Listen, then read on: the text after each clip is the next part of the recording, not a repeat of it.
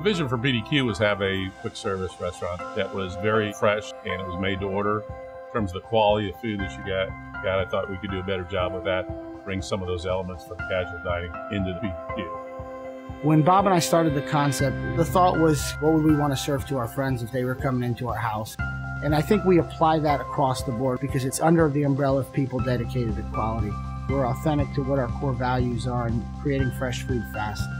What's so special about PDQ is the people, I think. You've got a great team put together, and I think it resonates down to the people that uh, our guests come in contact with, and our guests get to see the authenticity of what we do because it's made right in front of you, and it's about commitment to quality. I think people dedicated to quality is a pretty powerful statement when you apply it to a business. It means that we constantly are evolving to get better, better for the guests, better for our food, it's just an all around commitment to constantly trying to get better as a brand and as a person. You have to have hospitality in your heart if you're going to be successful in the restaurant business.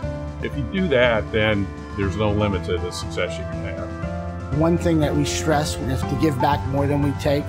Each store has local fundraising opportunities, and we try to have a process of saying, let's work with them, let's give back. No matter how many PDQs there are, the one in the community is the one most important to those people. The thought is if we can make every community we're in better, you might actually make the world a better place. And if we're both improving and constantly evolving, I think you got something that's very special.